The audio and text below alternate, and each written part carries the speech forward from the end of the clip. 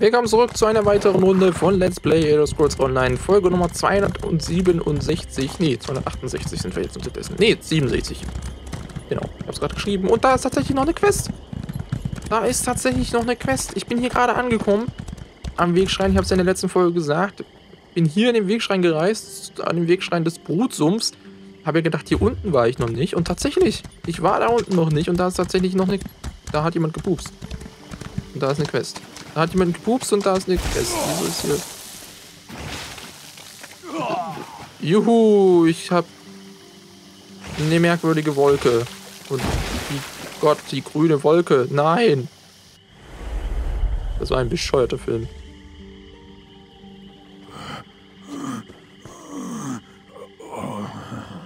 Oh, eine schöne Frau begrüßt. Ich bin froh, dass es euch gut geht. Marius wird jetzt mit euch sprechen. Er hat mir verboten, noch mehr zu sagen. Was? Ihr habt Glück. Rea hat ihr Leben riskiert, als sie euch aus dem Giftgas gezogen hat. Wer Die seid meisten ihr? Kaiserlichen sind den Mitgliedern des Paktes gegenüber nicht so unvoreingenommen. Aber sie ist naiv.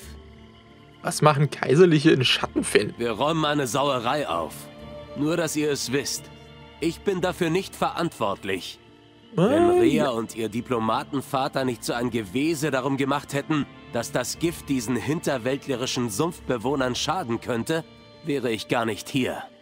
Was genau meint ihr? Aufgrund eines Fehlers in der Verwaltung hat das Kaiserreich in einer Mülllieferung Gift mitgeschickt. Manche Was? Leute meinen, wir wären irgendwie dafür verantwortlich. Hier in Macht dieser Sinn. Brühe herumzustapfen ist unter meiner Würde. Aber euch scheint es nicht zu stören. Ein Vorschlag. Ihr räumt hier auf und bekommt dafür ein paar Münzen. Na, das liegt daran, dass Mitglieder des Pakts, also des Ebenherzpaktes, gegen die ihr gerade verliert in Cyrodiil, mein guter Herr, keine Angst davor haben, sich die Stiefel dreckig zu machen. Was wahrscheinlich der Grund dafür ist, warum ihr gerade den Arsch versohlt bekommt. Also das machen, also, also zum Zeitpunkt der Aufnahme ist wirklich das Pakt gerade in Cyrodiil.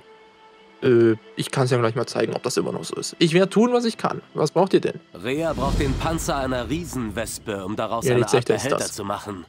Ich bin sicher, sie würde euch gerne alles darüber erzählen. Bringt Okay. den Panzer einfach zurück in unser Lager, damit wir damit loslegen können.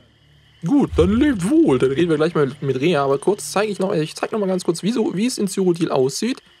Und äh, ja, gut, momentan sieht man da nichts. Wieso sieht man hier nichts? Ja, doch, doch, ja, genau. Also wie man sieht, ich glaube, ich hatte schon vor, vor ein paar Folgen schon mal gesagt, äh, die Kaiserlichen und das Dominion und ja, das Bündnis, werden hier gerade angegriffen. Unglaublich. Da haben sie sich zusammengetan, um uns anzugreifen. Ach, ach, ist das nicht. Mal gucken, ob sie sie zurückschlagen. Also, die, die bekommen hier gerade ziemlich den Arsch versohlen. So, Marius, äh, mit dem habe ich ja schon geredet. Äh, Ria, genau. Du liebliche Marius Ria. sorgt sich nur um sich selbst. Als ich euch aus diesem so- Gift zerrte, tat er nichts. Er hat mich sogar verspottet. Ja, so ein Hudigen aber auch. Äh, so ein unfreundlicher Mann. So, sie sieht ein bisschen italienisch aus, römisch. äh, Soll wahrscheinlich so sein. Vielen Dank, dass ihr mich gerettet habt. Dieses Gift wäre gar nicht hier, wenn nicht die kaiserliche Inkompetenz wäre. Genau. Ich bin hier, um zu gewährleisten, dass die Bewohner des Sumpfs keinen weiteren Schaden durch das Gift erleiden. Was viel wichtiger ist, warum stellt das Kaiserreich Giftgas her? Ich sollte euch das eigentlich nicht sagen, aber ich schere mich nicht um Ränge. Das Gas ist eine Versuchswaffe, die sich als zu gefährlich für das Schlachtfeld erwiesen hat. Sie sollte eigentlich in den Katakomben der Kaiserstadt unter Verschluss stehen. Aber das ist offenkundig nicht der Fall. Ja, in den Katakomben der Kaiserstadt sieht es ja wahrscheinlich ähnlich aus wie in ganz Cyrodiil. Überall Mitglieder des Pakts, die da rumstöbern. ich habe keine Ahnung, wie es in den Katakomben der Kaiserstadt aussieht. Äh, da kann man ja als normales, normaler Spieler gar nicht rein, aber wenn man den Kaiserstadt-DLC hat, dann, der spielt ja in der Kaiserstadt und da bewegt man sich irgendwie in den Katakomben der Kaiserstadt. Äh, äh, irgendwie ganz komisch. Also da haben irgendwie die drei Fraktionen, also Bündnis, Dominion und Ebenherzpakt, in den Katakomben, also in den, und in den äh, Abwasserkanälen der Kaiserstadt ihre Lager aufgebaut. Gut. Äh, und Marius hatte erwähnt, das Gift wird aus einer anderen, äh, aus einer Mülllieferung stammen. Die kaiserlichen Städte werfen ihren Müll schon seit Jahren in die Flüsse. Das Wasser trägt ihn davon. Warum sich also Gedanken darum machen? Nun, ich bin es leid, dass wir so tun, als wäre der Rest der Welt eine Müllhalde. So ist dieses Gift nach Schattenfen gelangt. Ach ja, da ist die Zivilisation der Kaiserlichen so weit fortgeschritten im Vergleich mit den anderen und dann sowas. Wen wundert's? Wie habt, ihr, wie habt ihr vor, dieses Gift zu entsorgen? Ich habe eine Verzauberung erschaffen, die es uns erlauben wird, das Gas einzufangen. Aber hm. ich brauche einen besonderen Behälter, auf den ich die hm? Verzauberung hm? anwenden kann. Und da kommt der Wespenpanzer ins Spiel. Okay, ihr habt's verstanden. Also Wespenpanzer besorgen, damit der verzaubert werden kann und dann mit diesem Wespenpanzer äh, Dinge tun, also Müllabfuhr spielen. Ne? Einfach einen Mülleimer machen solche Spitzbuben. Dreckspatzen sind das, die Kaiserlichen. Ich weiß ja schon immer, dass ich sie nicht mache, aber jetzt habe ich noch einen weiteren Grund, sie nicht zu mögen. Ja, ja. So, du komischer Wamaso, ich bin übrigens hinter dir. Ich weiß nicht, ob du es mitgekriegt hast. Ja, sieht eigentlich nicht so aus. Sehr seltsam. Also ein First Person hat schon irgendwie was. Du hast eine Riesenwespe, die müsste eigentlich reichen. Ne? Ah, doch schon wieder, äh, schon wieder Krokodile. Warum brennt meine kleinen Freunde? Meine Mama hat noch eine, braucht noch eine Ledertasche. Und ein paar Schuhe braucht sie auch noch.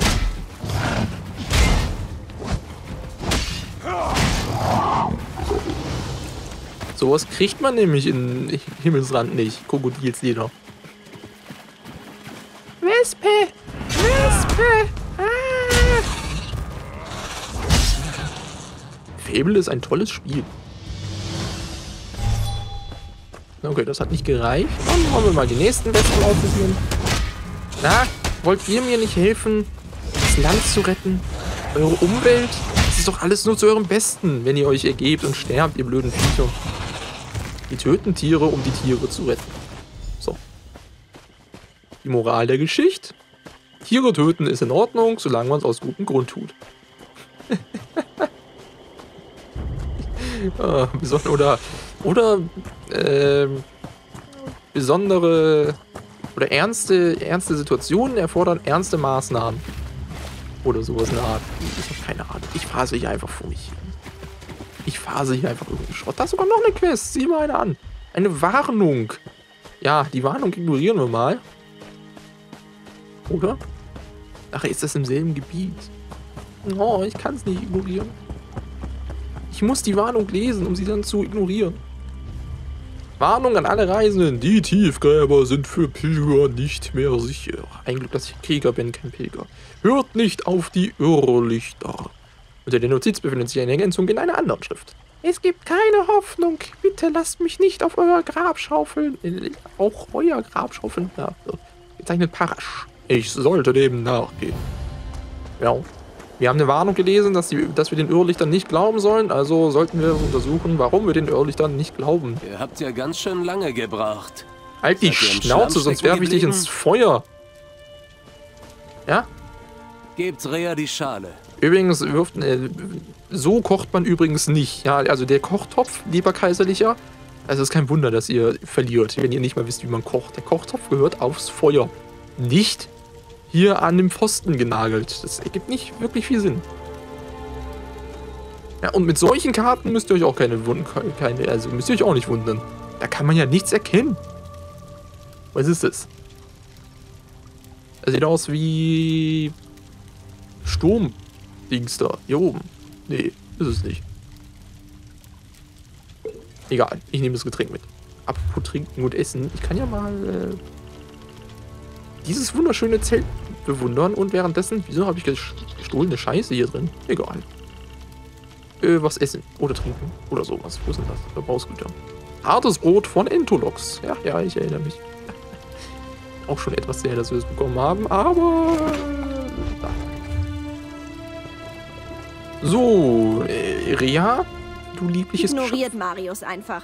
Genau. Er wurde hierher beordert, um sich um die Interessen des Kaiserreichs zu kümmern aber er kümmert sich nur um seine eigenen Interessen. Hier ist übrigens der Panzer. Vielleicht solltet ihr Marius ablösen. Oh. Hervorragend. Gebt mir nur einen Augenblick und fertig. Was ist fertig? Ich habe diesen Behälter so verzaubert, dass er das Gift in sich aufsaugt. Legt ihn in die Bahn der umhertreibenden Giftwolken. Sobald der Behälter das Gift aufgenommen hat, könnt ihr ihn gefahrlos bergen. Wir müssen uns beeilen. Ich hoffe nur, dass niemand anderes verletzt wurde. Marius hat mich nur gebeten, einen Wespenpanzer zu suchen. Oh, ich hatte angenommen, ihr wärt Teil des Aufräumkommandos. Was hat Marius vor? Ich kenne euch nicht gut genug, um einen Gefallen von euch zu erbitten. Aber ich flehe euch trotzdem an, mir zuzuhören. Ich fürchte, Marius hat etwas mit dem Gift vor. Ja, ich fürchte auch. Ich fürchte, er will es gegen das Ebenherzpakt verwenden. Und was möchtet ihr? Sobald ihr das Gift gesammelt habt, bringt ihr es zu mir. Ich... Es ist Marius. Er möchte mit euch sprechen. Bitte erzählt ihm nichts von dem, was ich gesagt habe. Natürlich, Schnuckelchen. Ihr habt einen Behälter, gut. Seid ihr bereit für das, was als nächstes kommt? Natürlich, bereit. Moment, wieso salutiere ich vor dem? Das macht keinen Sinn. Rea und ich werden uns um das Gift in dieser Gegend kümmern. Ihr kümmert euch um alles jenseits von Zischmir. Sobald ihr das Gift gesammelt habt, bringt ihr es zu mir an den Entsorgungsplatz bei Zug. Mhm. Rea traut euch nicht. Wenn ihr meine Hilfe wollt, dann muss ich wissen, warum dem so ist. Rea möchte lieber das Richtige anstelle des Nötigen tun. Ich bin Soldat. Ich habe diesen Luxus nicht. Hört zu. Ich bin bereit, ein hübsches Sümmchen für eure Hilfe zu bezahlen. Falls ihr euch entscheidet, dass ihr das Geld nicht wollt, dann zieht eure Wege. Ah ja. Er ist also Soldat und Rea nicht. Auf. Was? Stellt den Behälter in den Weg der Wolke. Setzt den verzauberten Behälter ein, um Giftgas zu sammeln. Das ist ja Witz, ein Witz, oder? Also, ich brauch doch nicht. Entfernt den verderbenden Einfluss aus Tiefgräber. Okay, das. Äh ja, also das, äh, das kann ja schön werden, ne? Also, was ist das hier? Giftgas und Giftgas. Ich muss jetzt wirklich dahin latschen und die blöden Scheißbehälter. Äh, ist das nervig. Ist hier irgendwo ein Schnellreisepunkt in den... Nee, ist auch kein Schnellreisepunkt in den... Oh Gott, ist das... Da muss man über das halbe Ding latschen. Wer hat sich denn schon wieder sowas ausgedacht? Hallo, meine Damen.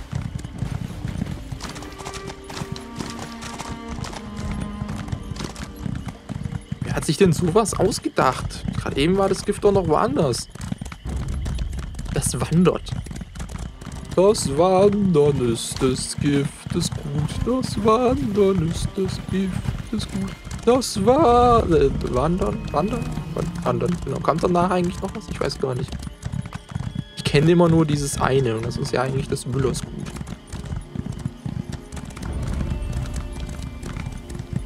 Ich habe keine Zeit für euch, ihr blöden Mistviecher. Ich muss hier Gift sammeln. Ich bin nämlich unter die Dinge gegangen. Unter die Müllabfuhr. So, Giftbehälter. Hallo? Hallo, machst du jetzt mal Gegenstand noch nicht bereit? Na also, es geht doch. Oh, das ist aber ein... ein netter Effekt.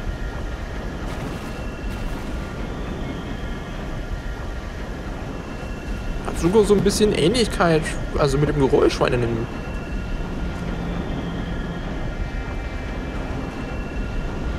bloß, ich muss das wirklich in den Weg. Äh, Gott, ey, ich muss das wirklich. Ich muss jetzt wirklich gucken, wo das hinwandern. Wo, wo wandert es denn hin? Oh, es kommt auf mich zu. Oh, nee. Ey, das ist doch scheiße. Was ist denn das hier?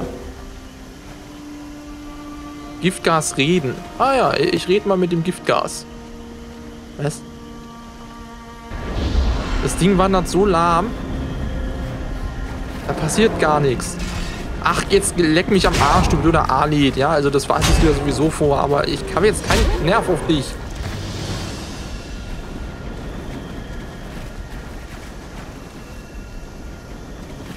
Ah, jetzt kommt's auf mich zu.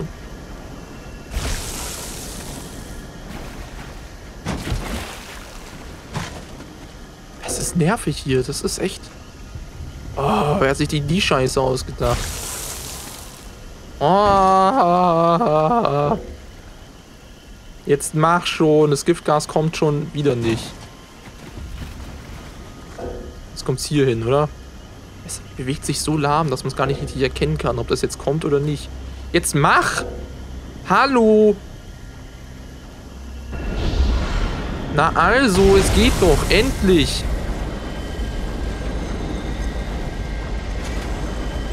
Oh, das war ja... Das war ja eine Geburt, ey. Das war ja eine schwere Geburt. Da muss man auf, auf Oh mein Gott, ey, das ist echt... Oh, hier acht steht mir bei.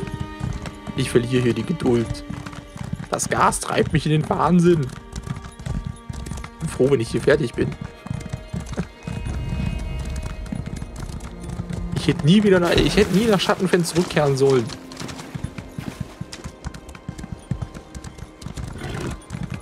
Gerade eben hatte ich noch so viel Spaß und dann so eine Scheiße mit dem Scheißgift. Das äh, wehe, das wird wieder so schlimm. Ja, also. Ja, ist auch schon. So. Es wandert gerade hier entlang, genau. So, Giftgas aufstellen, Giftgasbehälter. So. Er scheint mir in der falschen Position zu sein, aber vielleicht habe ich Glück.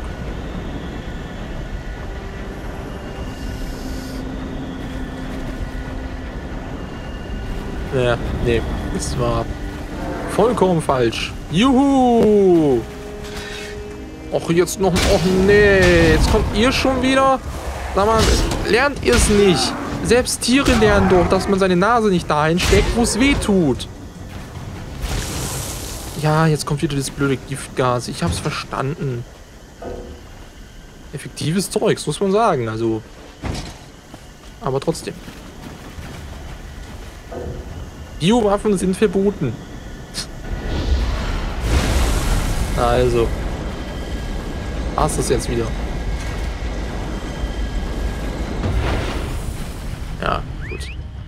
Gib Marius das darf oder äh, das Gift oder Rea das Gift. Äh, Marius, ähm.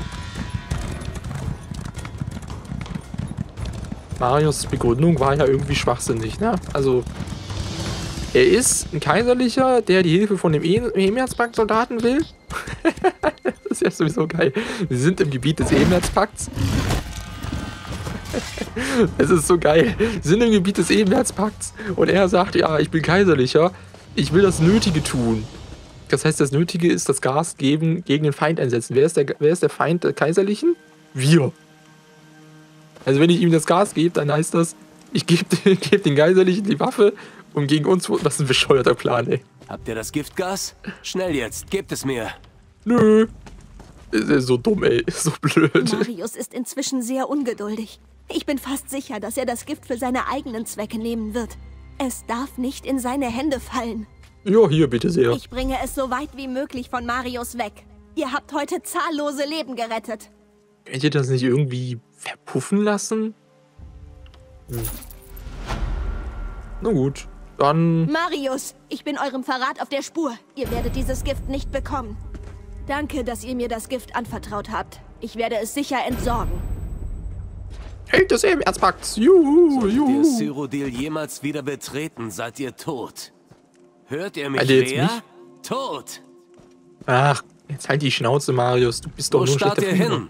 Wenn Reas Zauber nachlässt, wird sie für diese Gräueltat bezahlen. Die Darf ich den bitte töten? Wahrscheinlich nicht. Spielwelt. Unschuldige verschonen. Er ist ja nicht mal unschuldig. Hm. Na gut, dann eben nicht. Ach, immer das gleiche. So. Jetzt schrei ich hier nicht so rum, ja? Ich muss meinen Charakter wechseln. Also mein Titel. Guck. Held des Takts. Da, Held des Paktes. Da kann ich stolz drauf sein. Meister, Zauberei, Meister der Zauberei nicht so sehr, Sieger der Kriegergilde überhaupt nicht. Aber Held des Pakts ist endlich mal ein Titel, auf den ich stolz, stolz sein kann. Jawohl. Gut, dann haben wir noch eine einzige Quest hier unten. Sprecht mit Parasch. Aber will ich das machen? Ich meine, ich habe jetzt eigentlich alle, alle Quests Jetzt hör auf, hier rumzuheulen, ja? Es kann das nicht ausstehen, wenn Leute rumheulen. Na gut, dann gehen wir da hin kurz, ne? Machen wir noch ganz kurz die Quest hier in Schattenfan. Das ist dann wahrscheinlich die allerletzte, die ich in Schattenfan mache. Es es kommt noch eine dazwischen. Ich wollte gerade überlegen, ich habe gerade überlegt, ob es die letzte Schattenfan ist oder allgemein die letzte, die ich mache. Aber ich weiß ja, wo es noch mehr gibt. Nur eben weiß ich auch, dass die nicht unbedingt zu den normalen Quests gehören, weil die sind im offenen Verlies. Da kann man auch so rein, kein Problem, aber ich mag diese offenen Verliese nicht so gerne. So, gehen wir mal kurz der Warnung hinterher. Das wird bestimmt lustig. Nicht. Parasch. Aber es ist schön. Es ist schön, muss ich sagen, nach diesem ganzen äh, Schnee und Wald und sowas in Rift und Ostmarsch. Dieser Drilk hält sich für einen König, oder? Fein. Solange er sich dem Pakt beugt. Ich habe keine Ahnung, wovon du da redest. Dies ist kein Ort für die Lebenden. Nicht mehr. Wenn ihr hier seid, um verlorene Freunde zu ehren, solltet ihr nächstes Jahr wiederkommen. Vielleicht stehen die Dinge dann besser. Wenn es hier so gefährlich ist, warum seid ihr dann noch bei der Arbeit? Irrlich dahin, irrlich daher. Es ist falsch, eine Leiche an ihrer Rückkehr zum Hist zu hindern. Und ja. die Reisenden, die die Leichen bringen, nun ja, die erwarten eben, dass die Toten bestattet werden. Ich habe es versucht, aber mit einer Schaufel komme ich nicht gegen Irrlichter an. Ich kann damit nur die Toten begraben. Und warum greifen die Irrlichter überhaupt an? Das hat mir der Wind nicht zugewispert. Es gab schon immer Irrlichter, aber sie waren noch nie so gefährlich. Es würde mich beruhigen, wenn diese Bedrohung für die Reisenden ein Ende finden würde. Das Leben ist hier auch so schon hart genug. Gut, dann lasst mich der Sache doch nachgehen. Ich erwarte aber auch eine Bezahlung. ja, schlag die Irrlichter, um ihre Opfer zu befreien. Ja, gut. So, Irrlicht. Lass mal ganz kurz dich erschlagen. Also erschlagen heißt verbrennen. Und dann nochmal draufschlagen und dann nochmal draufschlagen. Aber das hat jetzt irgendwie nichts gebracht. Hä? Äh, wieso hat das denn jetzt nichts gebracht? Waren das die falschen Irrlichter? Ach, die Irrlichter, die um diese Reisenden herumschwören. Jetzt habe ich es verstanden. Na gut.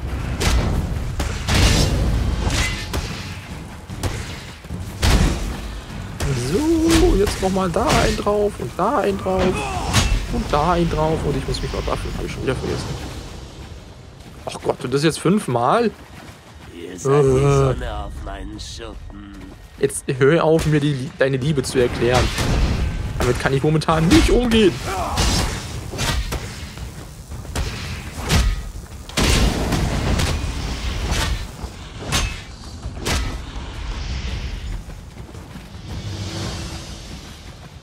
So, wo ist der nächste Reisende? Kein Reisender, ein Haufen Irrlichter. Kein Reisender, ein Haufen Irrlichter. Kein Reisender, kein Reisender, kein Reisender. Hallo, Reisende, wo seid ihr denn? Ich muss euch doch retten. Ich muss noch ein paar Irrlichter verprügeln. Wo, sind denn jetzt die Reisenden? Scheiße. Hier. Wo ist denn?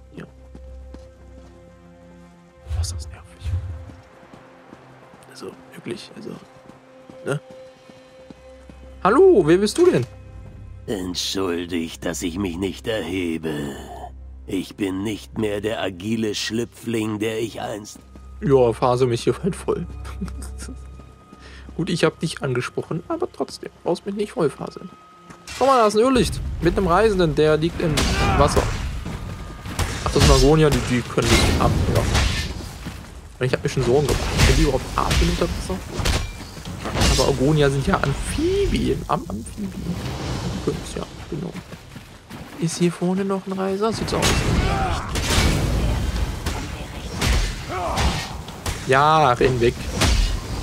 Wenn die nicht gewesen wäre, dann wäre ich tot. Ich weiß echt nicht, wieso die Angst vor diesen blöden Dingern haben. So, ein Irrlicht noch hier irgendwo. Oder eine Gruppe Irrlichter. Jo, ist frei. Hip hip hurra. Ich brauche ein Irrlicht, also eine Gruppe von Irrlichtern, die hier noch irgendwie einen Reisenden ärgern. Da vorne. Und da.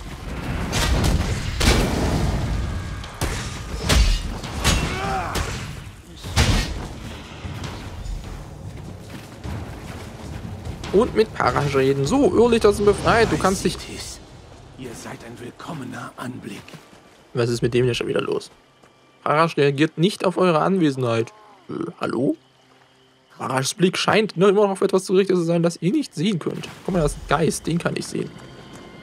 Hallo, du bist ja eine Hilfe.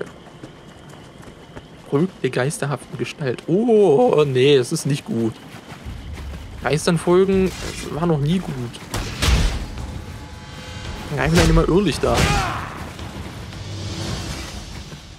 Jetzt schwebt die hier auch noch. Äh. Ihr seid weit gereist. Rastet ein wenig bei mir. Warum wehrt ihr euch? Ich biete euch Frieden. Ihr müsst jetzt stark sein, Fremder. Hinfort, Geist! Was? Was? Hä? Was? Was war denn das schon wieder für eine Aktion Kommt. hier? Ihr habt die Gefahr selbst gesehen. Was ist denn hier los? Ich habe noch nie gesehen, dass sie Beute so heftig angreift. Was für ein Problem hat sie mit euch?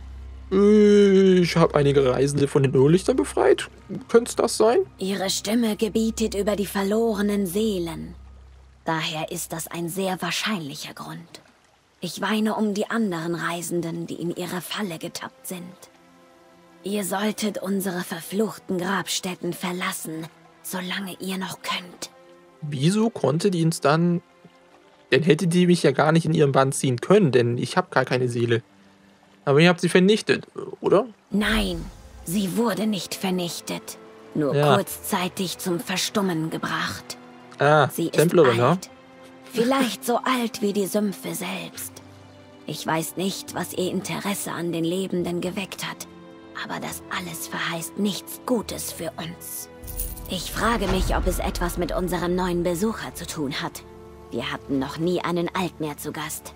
Ja, ja, das Vielleicht ist eine es auch nur ein. Zufall. Was meint ihr denn? Weil Rendil wirkte ganz harmlos. Anfangs hat er nur unsere Bräuche studiert. Ne, Dann begann er damit, Fetische und Überbleibsel von unseren Ritualen zu sammeln. Das war Ih. seltsam, hat aber niemandem geschadet. Dann wurde er dabei ertappt, wie er sich an einigen unserer Gräber zu schaffen gemacht hat. Er meinte, er wollte sie nur untersuchen. nur untersuchen. Er ist also ein Nekromant. Er hat die Ruhe der Toten nicht gestört. Ah, Es ist etwas okay. anderes. Ich würde ihn gern verstehen, aber er möchte nicht mit mir darüber reden. Er hat nicht weit von hier sein Lager aufgeschlagen. Vielleicht gibt es dort einige Hinweise. Ja, ich werde mal sehen, was ich rausfinden kann.